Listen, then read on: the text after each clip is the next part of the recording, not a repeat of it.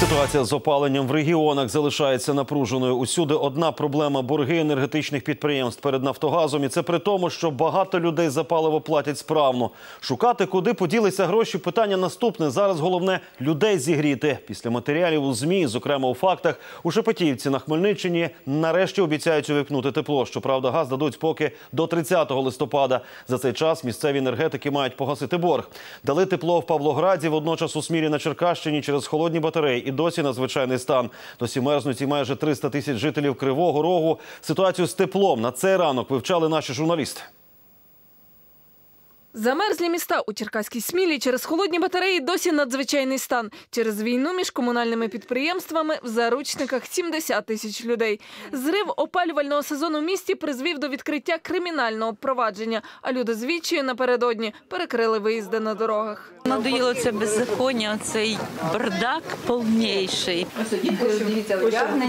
По два одіяла ложимо, по дві пляшки. Та найгірша ситуація в лікарнях. Там навіть планові операції не проводять. Через холоднечу медики виписують хворих і готуються до закриття.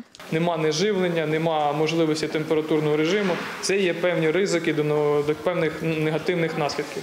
Ми не можемо так ризикувати нашими хворими. На Дніпропетровщині в Кам'янському майже три десятки шкіл і 20 дитячих садочків без опалення. Зате в Кривому Розі ситуація змінилася. Там майже всі будинки та бюджетні установи тепло отримали. А напередодні близько 300 тисяч людей мерзли у власних квартирах.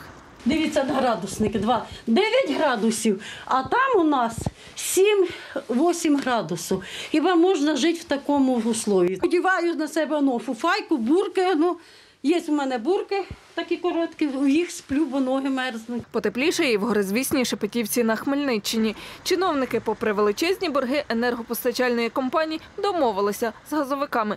Ті збиралися залишити без тепла весь район, але люди сьогодні йдуть на вічі, бо Нафтогаз дає блакитне паливо тільки до 30 листопада. Тому питання щодо опалювального сезону у місті і досі відкрите. Холодно, холодно. Я вот уже горло у меня от воздуха начинает уже болеть, чувствую горло. Долгов нету, ну и мерзнем. А це вже Харків. Комунальники звітують про 100% готовність до опалювального сезону. А в деяких квартирах позначка термометру не підіймається вище 10. Місто розрито через аварії. На тепломагістралі зо дві сотні поривів. Говорят, что нету денег, у них 20 с лишним тысяч нужно за того, что какую там трубу починить или что-то такое.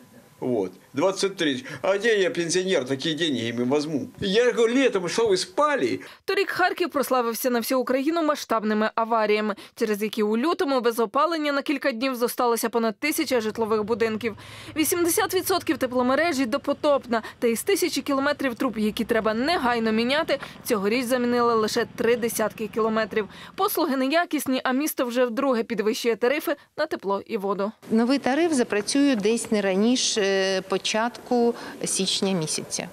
До таких же кроків готується і решта тепловиків країни. Вони переконують, з новими цінами на газ нині працюють у збиток, ще більше накопичують борги за паливо. Тетяна Дуцяк, Людмила Цимбалюк, Олексій Савіцький, Христина Венгеля Оскайте. Факти ICTV.